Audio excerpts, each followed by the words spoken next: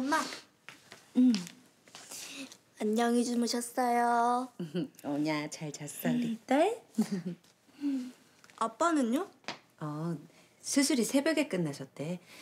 그래서 사우나 가셨다 곧장 병원으로 가신다고. 뭐야? 아빠 외박하신 거예요? 일이 바쁘시잖아. 엄마, 엄마는 아빠를 너무 봐주는 것 같아요. 외박했으면 다른 아줌마들처럼 바가지 긁어야죠. 다른 아줌마들도 남편이 일 열심히 하느라 집에 못 들어오는 건 바가지 안 긁거든요. 마음 넓기도 하셔라, 우리 엄마. 저 씻을게요.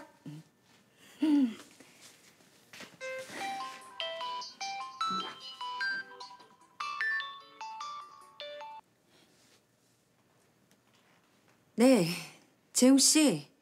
아, 아 미안합니다 상은 씨. 어, 어제 영화팀하고 어울렸는데 얘기가 새벽까지 좀 길어져서요. 아, 전화 알고 보니까 새벽 3시가 넘어서 씨 고나게 잤는데 깨울까 싶어서 전화 못했습니다. 전화했어도 못 받았을 거예요. 저 한 번 자면 누가 업어가도 모르거든요. 아 새벽엔 또 갑자기 수술이 잡혀서 그 성형 수술한 거 비밀 유지 원하는 여배우들이 새벽에 몰래 와서 수술하고 가거든요. 방금 수술 끝나니까 짬이 좀 나네요. 진짜 피곤하겠다. 그리고 재웅 씨, 나한테 일일이 밖에서 보는 일에 대해 말하지 않아도 돼요. 무슨 뜻입니까? 우리 사생활 존중하기로 했잖아요. 집이 아닌 밖에서 재웅 씨가 하는 일 내가 간섭할 권리 없고 피곤하게 재웅 씨 하는 일에 이래라 저래라 잔소리 안 할 거예요. 그러니까 나한테 밖에서 하는 일 다 말 안 해도 되고 편하게 일 보시면 돼요. 재웅 씨 듣고 있어요? 듣고 있습니다. 그럼 상은 씨는 내가 외박을 하든 긴 여행을 떠나든 일체 상은 씨한테 얘기를 안 해도 상관없다는 건가요? 네. 내가 뭘 하든 누구를 만나든 궁금하지도 않고 따져묻지도 않겠다는 거죠? 네. 재웅 씨도 궁금하지 않잖아요. 따져 묻지 않을 거잖아요. 그게 재웅 씨가 원하는 거 아니었나요? 네, 제가 원하는 거 맞습니다. 가라입으로 갖다 드릴까요? 아니요, 괜찮습니다. 그럼 끊을게요. 진이 아침 챙겨주는 중이었어요. 네.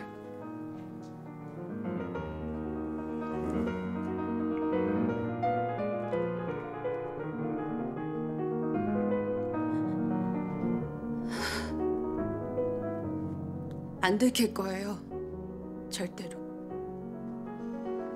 내 감정 꽁꽁 숨기고 당신으로 향하는 내 마음 꾹꾹 눌러서 보여주지 않을 거예요. 절대로.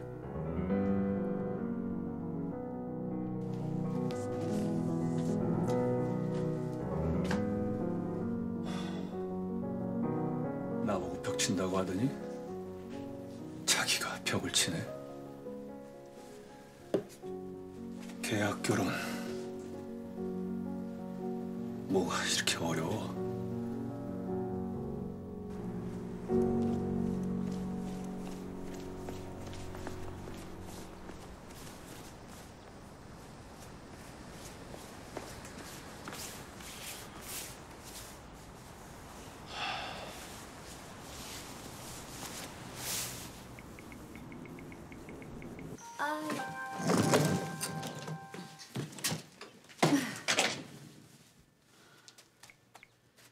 어디 아파요?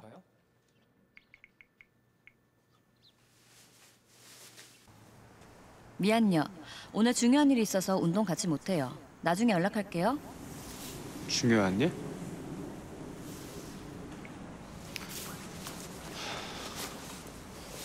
할머니, 그럼 이제 할머니 여기서 안 사시는 거예요? 같이 살진 않지만 자주 놀러 올 거야. 어머니 진짜 자주 놀러 오셔야 해요. 그럼 우리 예은이 좀 잘 부탁해. 걱정 마세요. 예은아 가자. 할머니, 안녕히 가세요. 안녕히 가세요. 수찬이 수지 엄마 말씀 잘 듣고 공부 열심히 해.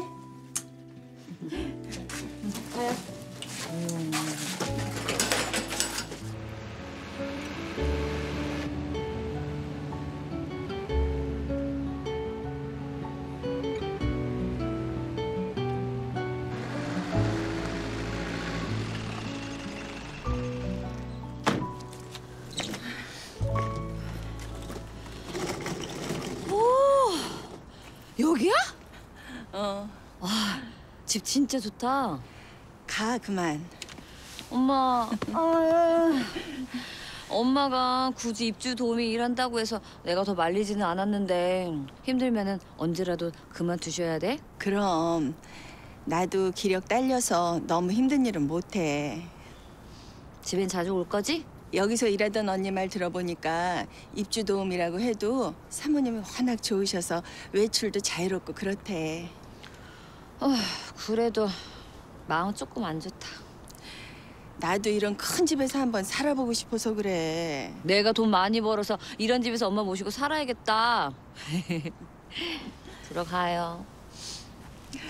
그래. 사모님 저예요. 그만 가래도 알았어. 가. 어.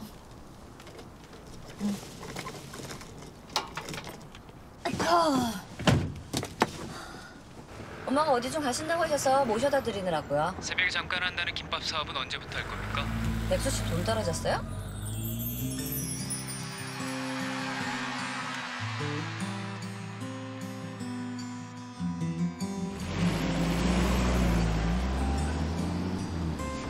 네, 급합니다. 하루빨리 예은 씨랑 김밥 장사해서 돈 벌고 싶어요. 알았어요. 그럼 이때 만나서 구체적인 계획을 세워보자고요. 네. 다녀왔습니다. 형주야, 아줌마 새로 왔어. 엄마 표정 보니까 굉장히 마음에 드는 모양이네. 한 일주일 너 없을 때 와서 일했거든. 근데 사람 좋고 마음에 쏙 들어. 잘 됐네. 엄마 낯가림 심한데 마음에 드시는 분이 와서. 아줌마, 예 사모님. 우리 아들 형주. 안녕하세요. 잘 부탁드립니다. 안녕하세요. 제가 잘 부탁드려요. 사모님, 아드님 인물이 너무 훤하신데요. 어휴, 그럼 누구 아들인데? 도련님이라고 부르면 되죠? 여기서 일하던 언니가 그렇게 불렀다고 하던데. 그냥 편하신 대로요. 형주야 이렇게 부르셔도 돼요. 아니에요. 조- 조금만 기다리세요. 아침 준비할게요. 네. 어때? 괜찮지? 음, 인상 좋으시다.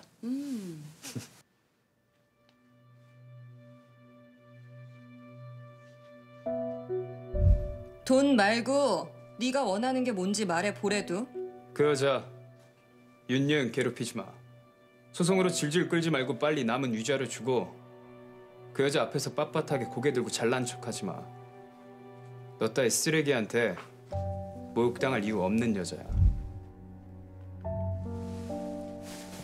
자기 일어나. 어? 왜? 위자료 자기 부인한테 보내주자. 그래 보내주자 너? 소송도 안 하고 보내주자고? 그거 얼마 되지도 않잖아. 소송하면 시끄럽고 자기 사업하는데 망신스럽고. 그래 남자는 체면으로 사는 건데 그깟 위자료 못 줘서 소송까지 간다고 소문나는 거 나 그거 진짜 싫었거든 근데 우리 돈 없잖아 내가 줄게. 화영이 네가?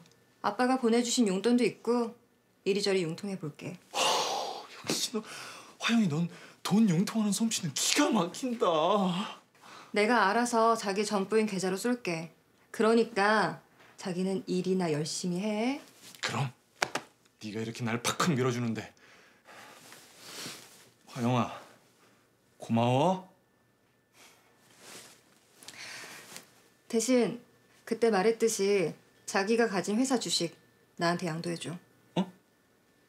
우- 우리 회사 주식을 다 너한테. 내가 회사의 최대 주주가 돼야 아빠가 날 믿고 우리 회사에 투자를 해주지. 음 장인 어른이 날 믿고는 투자를 안 해주실까? 아, 그걸 말이라고 해? 왜? 내가 회사 자금 구멍 날 때마다 메꿔주고 회사 상장하는데도 자기 위해서 희생했는데 그 정도도 못 해줘? 내가 자기 아기까지 가졌는데도? 아, 아니 나는 알았어. 위자료 깨끗하게 해결하려고 했는데 시간 걸리고 쪽팔려도 그냥 소송으로 가자. 아유, 아유 하영이 넌 성격이 너무 급하더라. 사람 말 끝까지 듣지도 않고 주식 양도 할게. 딱 지금 딱 그 말을 하려던 참이었는데. 응, 역시 자기 날 실망시키지 않을 줄 알았어. 모처럼 이렇게 자기한테 이쁨 받으니까 이 아침이 너무 상쾌하다. 응, 나도. 이진석, 이 돌대가리.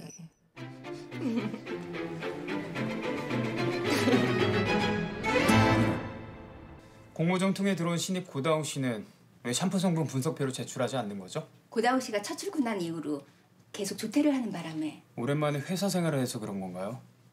그래도 제출할 시간을 이렇게 넘기는 건 아니죠. 오늘 내로 제출하라고 하세요. 네 본부장님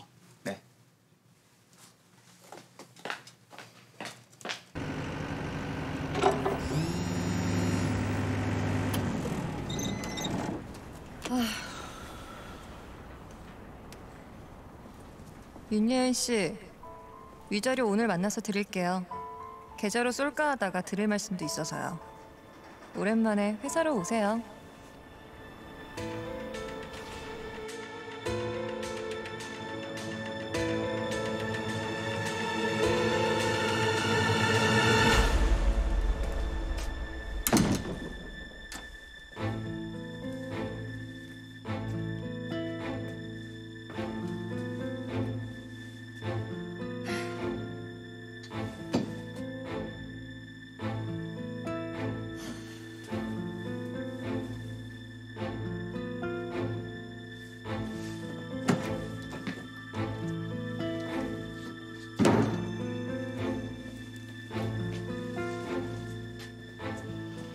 어서 오세요.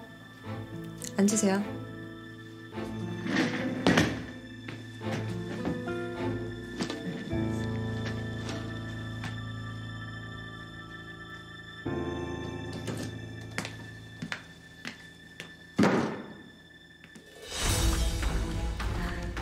시간 딱 맞춰들 오시네. 백수 씨, 예은 씨,